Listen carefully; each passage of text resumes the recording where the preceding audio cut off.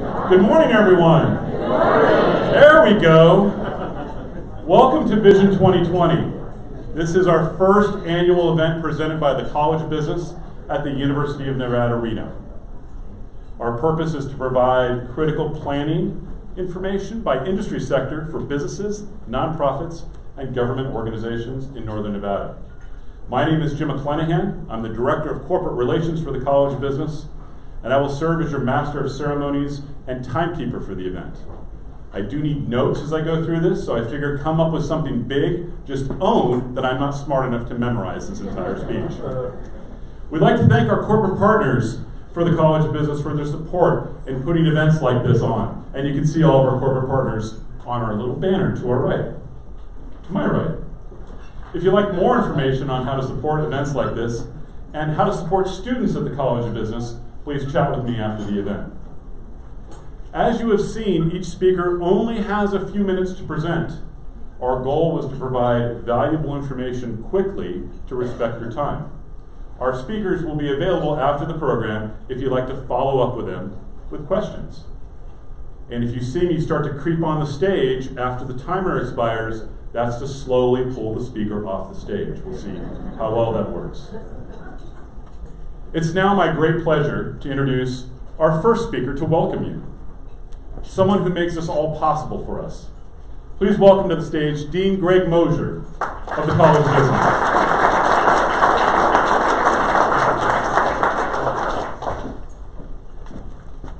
Thank you very much. Uh, I really just wanted to take a few moments to talk to you a little bit about the College of Business at the University of Nevada, Reno. Uh, I find that uh, things like universities are sometimes opaque to the general population, and there's a lot of questions sometimes around what's going on out there. You know, what's happening in the College of Business? Some of you are alums of our college, uh, and even you may not know all the various things are going on. I wanted to tell you how proud we are of really serving and fulfilling the main mission of universities and higher education. It's been that way ever really since the 19th century. And that is its instruction, research, and outreach. And we're doing all three of those things. This program, of course, represents that major outreach mission. We have lots of really highly qualified people who know a lot of things about what's going on. We have ways to reach out into the community and pull more people in, and we need to share that information with our public.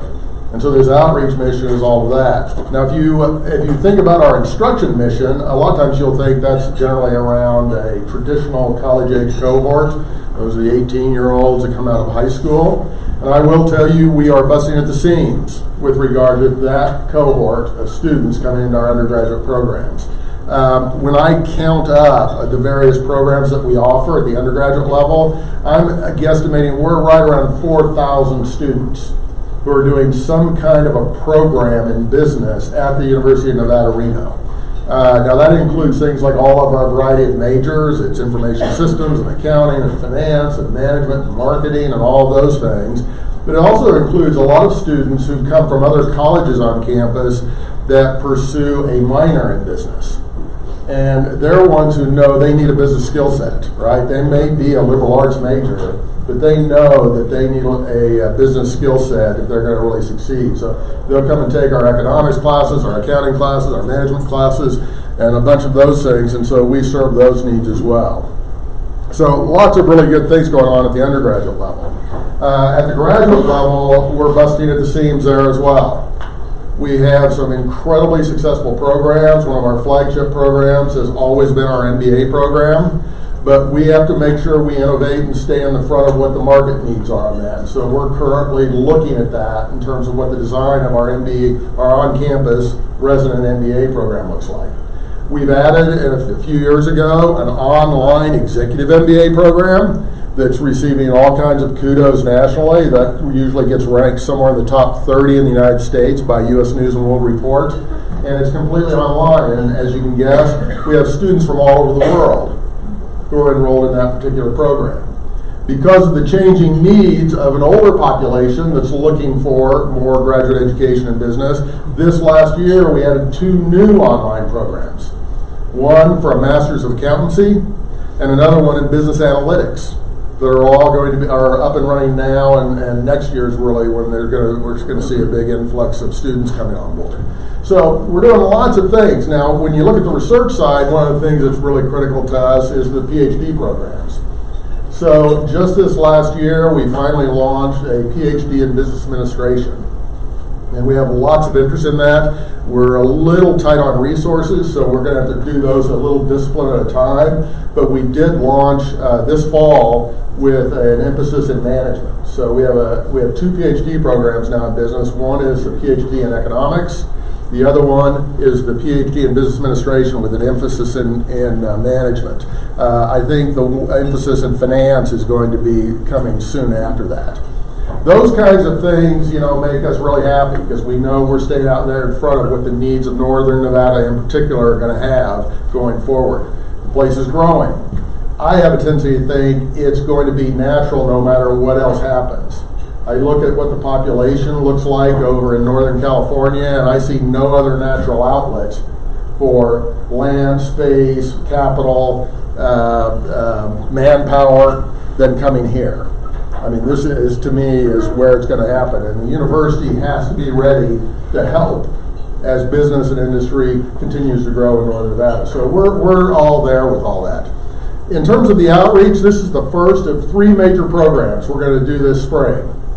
Okay, it's the first, and it's going to kind of lay, give you the little bit of the lay of the land. But coming up at the end of uh, February is uh, our next TEDx University of Nevada. How many of you ever attended TEDx?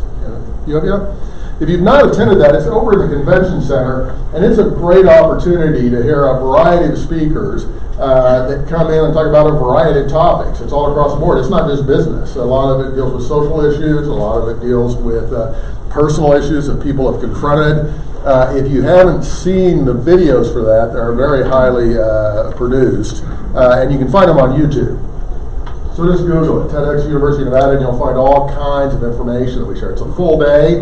Uh, tickets are still available. You can get those online.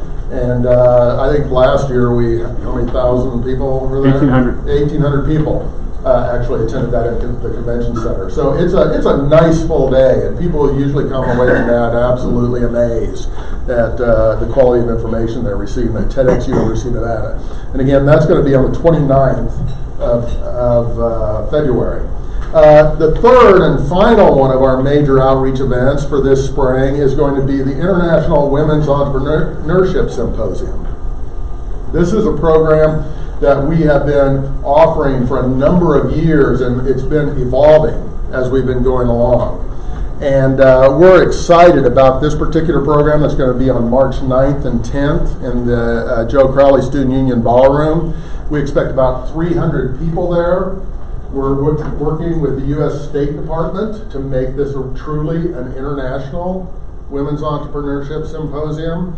Uh, the speakers are going to be absolutely incredible, and uh, I'd encourage all of you. Have we sold out yet, Dick? Is it? No, Okay. not yet. We still have Still tickets tickets. available. So I would encourage you to look for that, and if you can participate in that. Again, it's just one aspect of how the College of Business is trying to do outreach and serve the needs of all the members of our community. So thanks for being here on the kickoff on all those events. Uh, hope you enjoy the day.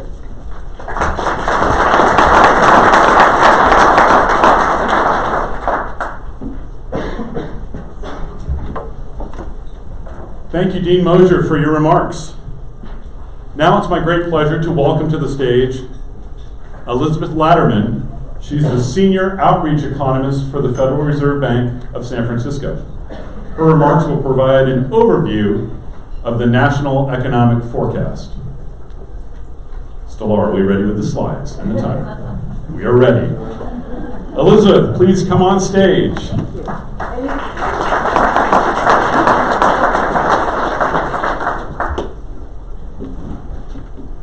Thank you for the applause. We've been practicing this for weeks. Um, I put my, my water down here if I need it. So thank you for that introduction and welcome. Good morning, everyone. Good morning. One of multiple good mornings you've heard and had to respond to already. Um, you know, the U.S. economy, any economy really, is a beast. Trying to understand all aspects of the economic situation at any point in time, much less the forecast for the future, it's impossible. So, what I want to do this morning is to offer you a vantage point from which to view and think about the economy. So, we'll be up at 10,000 feet and we'll be looking at the US economy as a whole. And we'll have in our sights the two goals that Congress has given the Fed for monetary policy maximum employment and stable prices. Now, now's a good time for me to say that I'm, although I'll do my best to uh, reflect the views of the Federal Reserve Bank of San Francisco, my remarks, should I misspeak, are my own and not necessarily those of anybody else within the Federal Reserve System. So before we get started, I wanted to introduce you to or remind you of the meaning of maximum employment with, within the context of this dual mandate that Congress has given the Fed, given the Fed for its goals for monetary policy. So I just said that there are two goals. They're interrelated. Here's what I mean. If employment is too high, inflation will tend, will tend to pick up, tend to increase. If employment is too low, inflation will tend to decline. So it may be where you want it today, but it's not necessarily going to stay there. So we're looking for an in-between point. You can think of it as an, employ- an employment sweet spot where inflation tends to stay steady. So this maximum employment, what we call maximum employment, means not too low, certainly. You knew that. But it also means not too high. Now, the unemployment rate that corresponds to this concept of maximum employment is, as many of you know, called the natural rate of unemployment. It's natural about it. Well, as the former president of the Federal Reserve Bank of San Francisco, now the president of the Federal Reserve Bank of New York, John Williams, liked to explain it. When we've reached the natural rate of unemployment, we're at a point where everybody is who's looking for a job can find a job. So that sounds like, you know, a good a good place to be. We don't know for certain what that natural rate of unemployment is. It's something that has to be estimated with models and tweaked. We change our estimates sometimes, maybe we'll hear that. The current estimate that the Federal Reserve Bank of San Francisco has for the natural rate of unemployment is 3.8%. Now, other, you know, economic staffs at other reserve banks, the Board of Governors, in, you know, in academia and the private sector, may have slightly different estimates of the natural rate of unemployment, but they're not going to be too much different from that. Now, what does stable prices mean? It doesn't mean, as you probably know, you know, prices that don't change at all. It doesn't mean zero inflation. What it means is a 2% average annual inflation rate. Now, it's pretty interesting. The Fed did not actually explicitly state publicly a numerical goal for inflation until 2012. Stating it publicly is useful, though, because it helps to set expectations, which helps to influence, it becomes somewhat self fulfilling because that influences the inflation rate that actually occurs. So, what are we going to see from up here?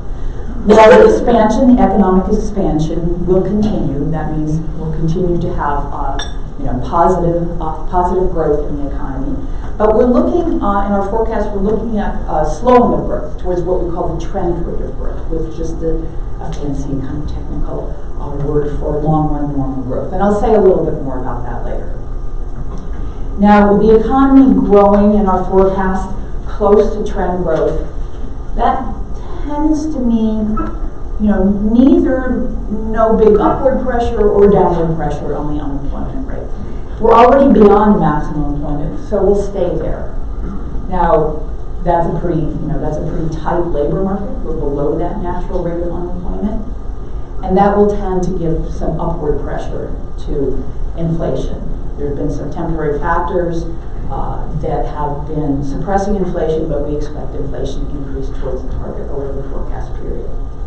So we'll start with uh, GDP growth, output growth. Um, it's the best single measure of the health of the economy, and it's the basis for everything else uh, in our discussion.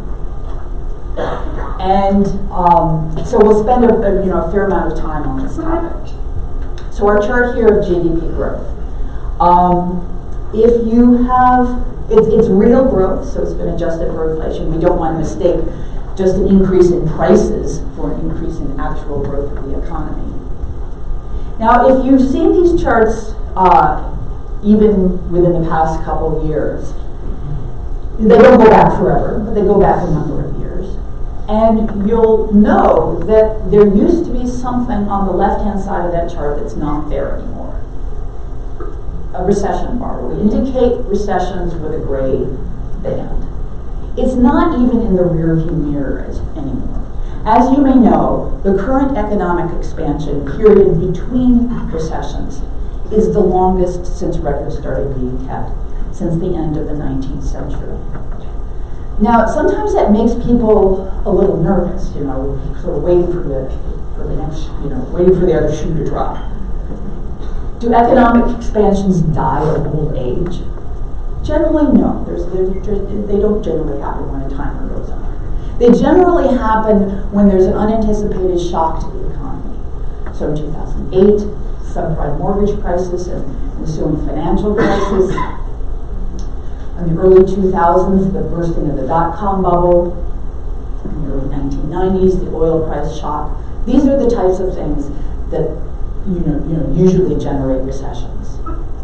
One of our economists, Glenn Rudebusch, wrote a short piece several years ago where he um, talked about, he, he presented some research on the predictability of a recession happening based on the length of the, of the expansion versus the predictability of someone dying based on their age. It was a sobering article, much easier to predict a person's death than an, expand, than an economic expansion's death. So, um, Another thing that I'd like to point out in the chart is the length of the forecast period.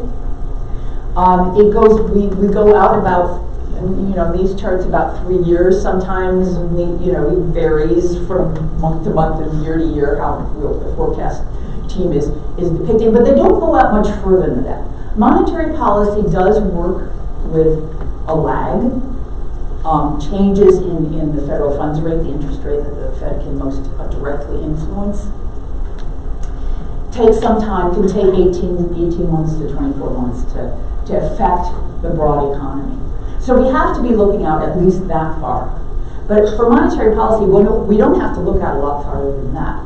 So some of you here in, um, may work for agencies uh, that um, that do forecasts that are much longer you know, 10 years or even longer. I know that the, uh, the, the financing agency, I can't remember the exact title of it, in California does, does routinely does 10 year forecasts. We do, we do shorter forecasts. Um, and um, so looking, so, so, so the, the, the other thing I want to point out on this chart is that the data are four quarter growth rates.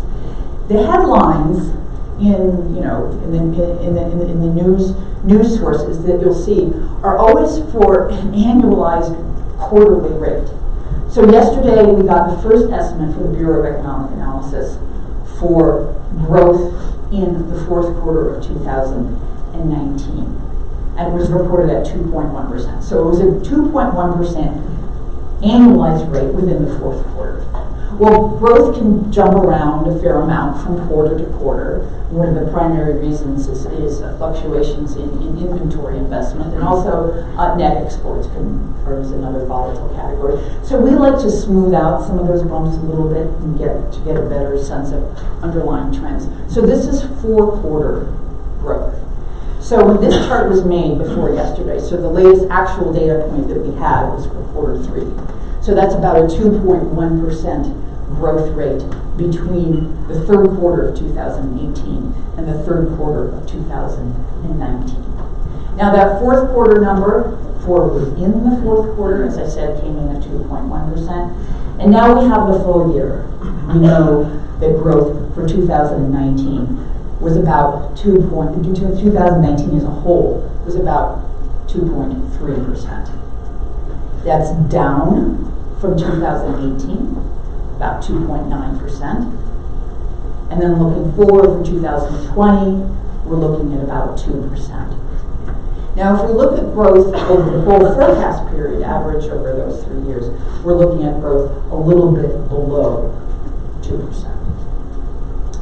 So, um, so you know, that's part of the slowdown that we've seen. It's important to recognize that part of the slowdown that we've seen since 2018 was expected.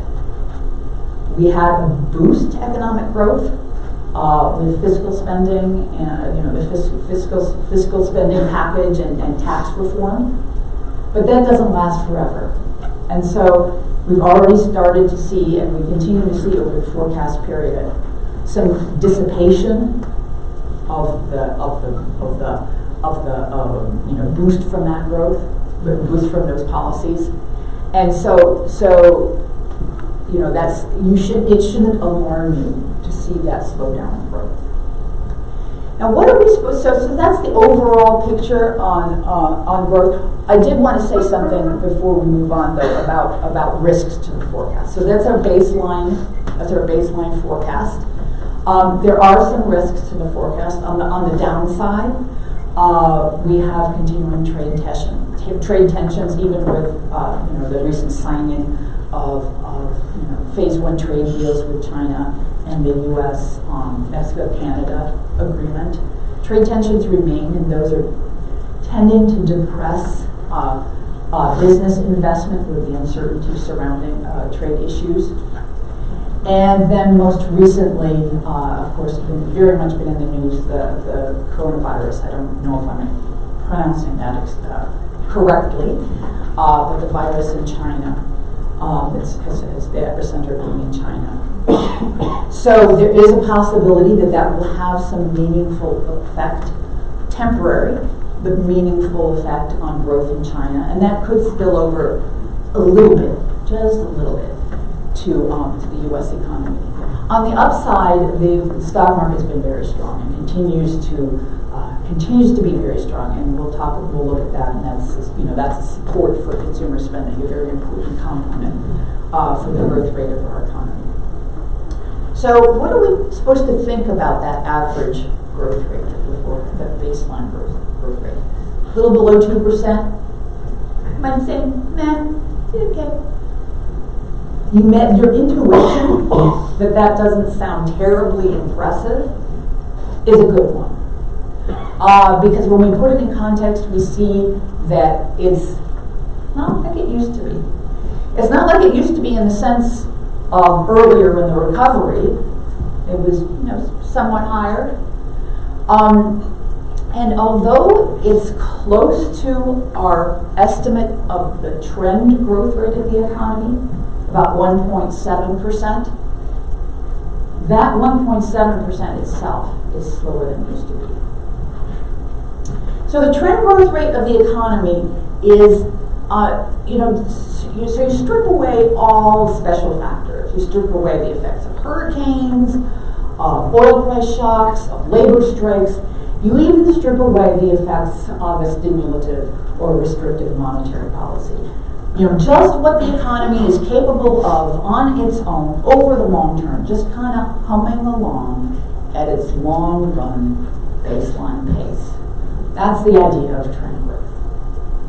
And as I said, that 1.7% used to be, not so long ago, quite a bit higher.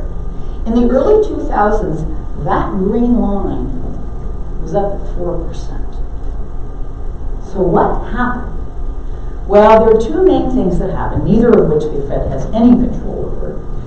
And one is, um, in contrast to the 1960s through the 1990s, the labor force participation rate has been declining. The labor force participation rate is the percent of people who are 16 years or older and who are not in, not in on active military duty or, or and are not institutionalized. That means not in a long long term care facility or in prison. The percent of that pool of people that is participating in the labor market. That means they either have a job or they're actively looking for a job. They have to have made, made concrete steps within the past four weeks uh, to, to look for a job. That's the labor force. And the participation rate has been declining, and you probably have a sense of why that's true. A large part of the reason is the aging of the population. So, at the same time, you know, there's some volatility there, but basically the population growth rate has been on the downward trend. So that means the growth of the labor force itself has been slowing. And the projection, the forecast there is from the, the Congression. It's not our projection, it's from the Congressional Budget Office. So think about this in terms of um, in terms of hours worked. So there's still growth in the you know total all, all, all the hours of all the people working in, in the United States economy. There's still growth over time. So, you know, we're getting growing over time, but the rate at which that growth is increasing is slowing over time. In addition, the increase in the amount of stuff that we can produce, goods or services, per hour, which, which comes called productivity, productivity growth has been declining. We do get more efficient every year, but the rate at which we get more efficient has been declining. So those two, those two things, slower growth, growth in the labor force and slower productivity growth, mean slower trend growth for the economy overall. So, um, but we're looking at, you know, trend at average growth over the next few years, being pretty close to trend. So, you know, let's think of that as, as fairly healthy given the, you know, the demographic situations, uh, situation that we're in right now. So, what supports our view that of, you know, we just want to think about it in, you know, in colloquial terms, pretty, what supports our view of pretty healthy growth? Well, there's several, several pillars, kind of fundamentals, uh, supporting growth. And uh, most, so I'm going to talk about this in terms of consumer spending, uh, one of the most important components of, of GDP growth. So incomes have, have been increasing. We know that the unemployment rate is very low. More and more people um, actually are, are bringing in an income. These are data from the National Federation of Independent Business, and some of some of I know that some of you are uh, are you know maybe small business owners or small business organizations, so you may be very familiar with uh, this organization. You know, over 90% of businesses in the United States have fewer than 20 employees. And more and more of them are saying that it is difficult to find qualified job applicants. Businesses with few or no qualified job applicants. So naturally, more of them over time are planning to increase compensation over the next three months.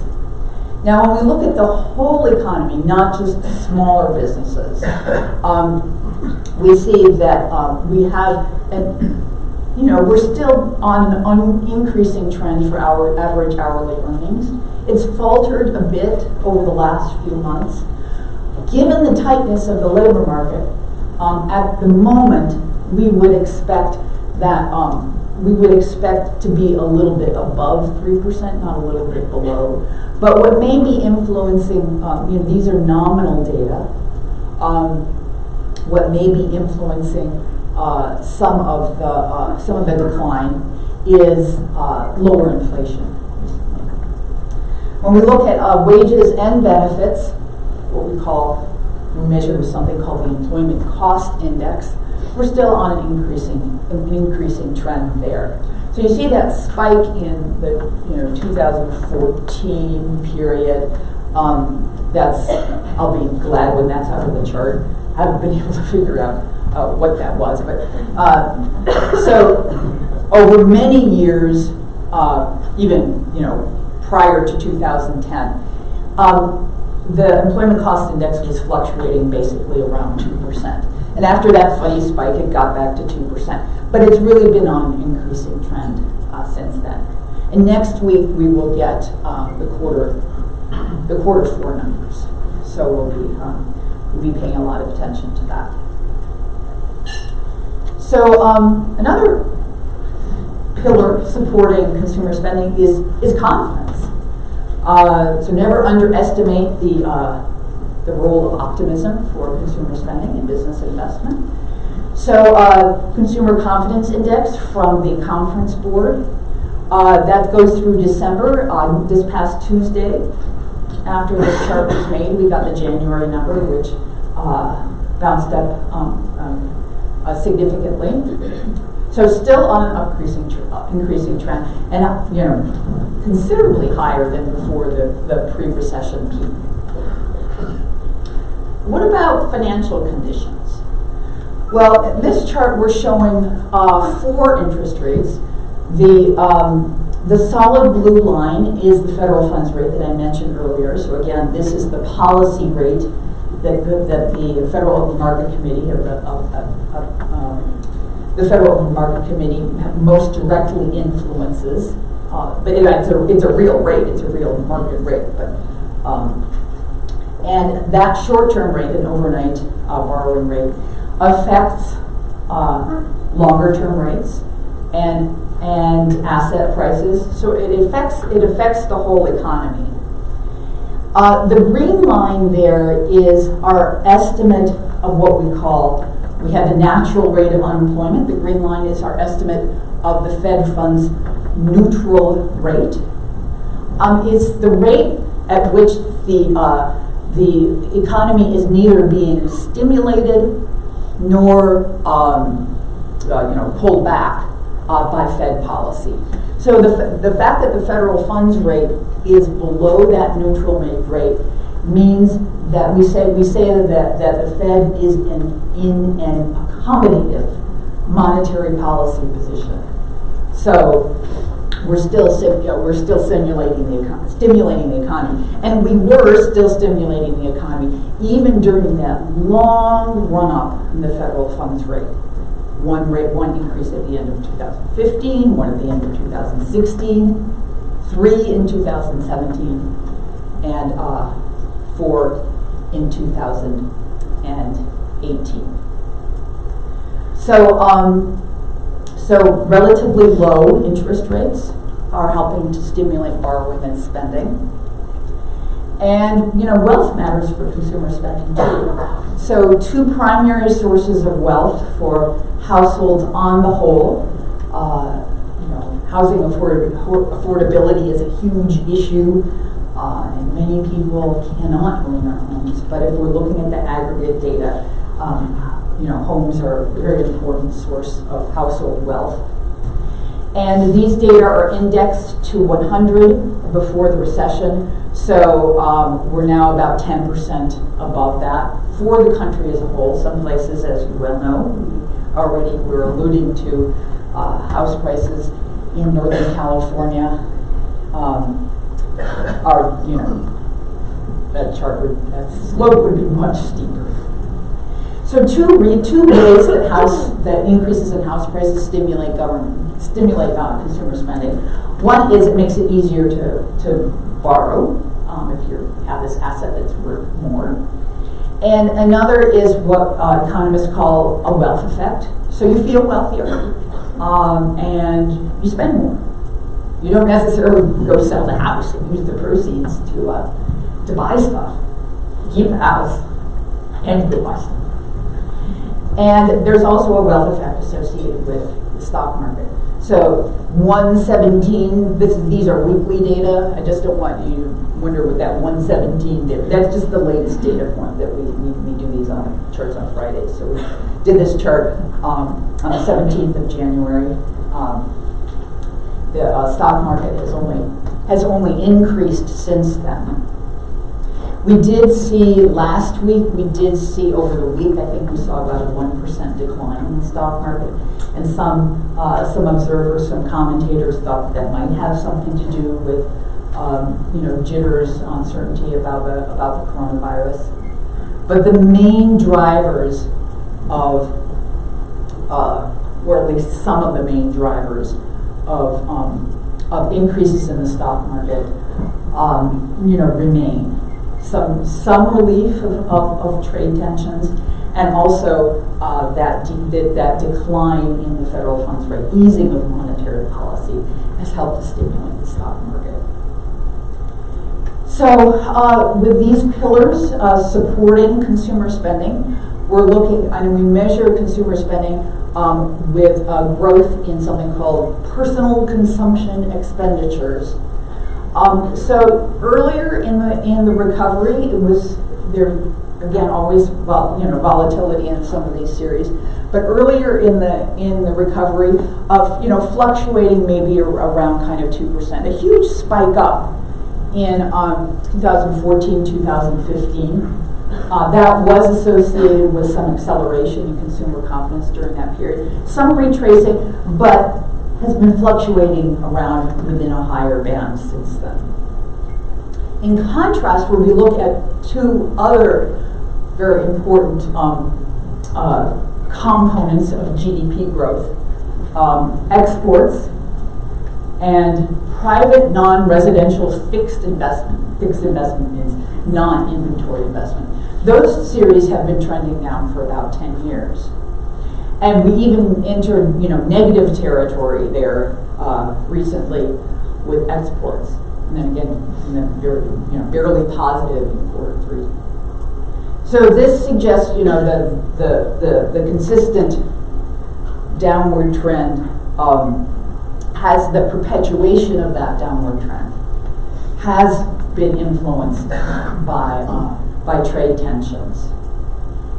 And related to that, uh, the, there's the manufacturing index from an, uh, an organization called the Institution of Supply Managers. So this manufacturing index um, fell to its lowest level, in, I think it was in December since um, sometime I think mid uh, mid 2009. So um, so you may have read or heard that the manufacturing sector is in a recession. Actually, you know, it's not growing anymore currently. The manufacturing sector is also, as you know, only part, uh, you know, smaller part of our economy than it used to be. But we're attentive to, you know, maybe some of those conditions um, spilling, maybe spilling over to the rest of the economy. So, um, you know, when we're looking at the forecast, when we're thinking about the forecast, we're also going to be thinking about, you know, future, you know, what's going to happen to interest rates in the future, because that will, that will in influence economic growth. So we can't predict the future, but um, uh, we can ask opinions. So SEP is the summary of economic projections. So the participants, the FOMC participants, that is the members of the Board of Governors and the all of the presidents of the reserve banks.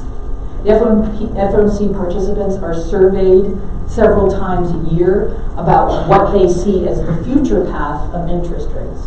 And so you'll notice that um, a future path of the federal funds rate what what they think would be appropriate to achieve, you know, what's what's it going to take, in your opinion, to achieve the dual mandate and get you know get closer to it or stay close to it. Always that in, in the sights.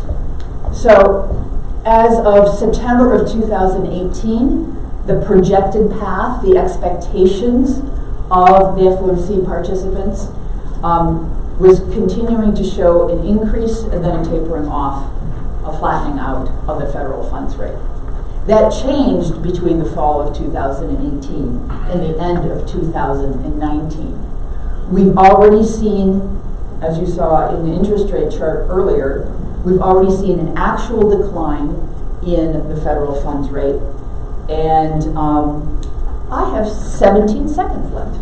I, I think I can do it. Um, and then, um, so the important thing to recognize here is that the decline in the federal funds rate was recognition of increasing headwinds from slow global growth, connected partly with uh, trade tensions. And um, so the decline in the federal funds rate, and at least as important, the decline in the forecasted path for future federal funds rate has helped to stimulate the economy. It's brought down mortgage rates in particular. I can say that um, permits for house construction activity have been uh, over several months running have been uh, have been increasing in response to that. So again, here's the chart just to bring us back to back to the uh, the driver of the story.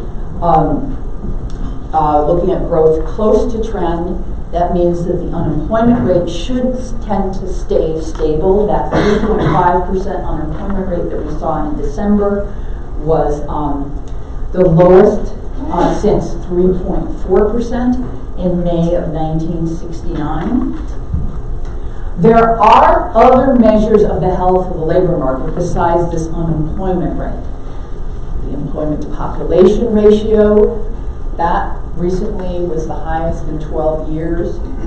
The percent of people who um, are working part-time would like to be working full-time, but, but haven't been able to find full-time work, that's low.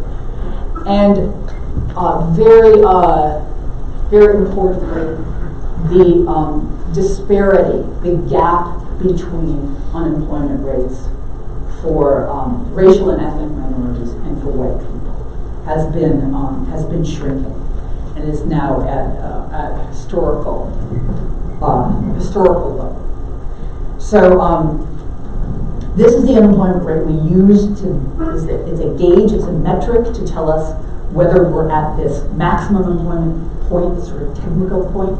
But again, there are other measures of the health of the labor market uh, that are important to, uh, you know, for, for, our, for our economy as a whole and for our society. Uh, job growth remains strong. Um, that number in 2000 and in, in November was especially surprised on the upside. There were people coming back to work after the strike, but even accounting for that. Um, and so that's helping to drive the de- decline in the unemployment rate. Um, and the unemployment rate being below that natural rate tends to put upward pressure on the inflation rate. There have been some temporary factors, as I said, that have been suppressing inflation. Um, those are only temporary, and then we expect uh, the upward pressure uh, from the low, tight labor market to come to the fore. So that's our conclusion. I don't need to read it for you. I've said it. You can read it yourself. And I just want to put these resources up there uh, for you to. Fed Views give is a monthly publication of the Economic Research Department of the Federal Reserve Bank of San Francisco. Uh, it's posted online. Uh, the outlook that I gave, you know, the, the, the, the flavor, the nature of Fed Views uh, is pretty much like what I just gave, so you can, you know, keep up. Um, there's always, always a special topic too. Among those resources, the first three are pretty much, you know, they're an increasing order of interest, I would say. Don't try to read the FOMC minutes unless you're trying to go to sleep. Um, Chair of the Fed is an online monetary policy game that you can play on your phone. Um, and it's not an app. Um, and you're asked to set the federal funds rate to achieve their shocks that come along. You have to set the federal funds rate to get back to uh, the dual mandate goals. And if you succeed, you will be reappointed as chair. So good luck.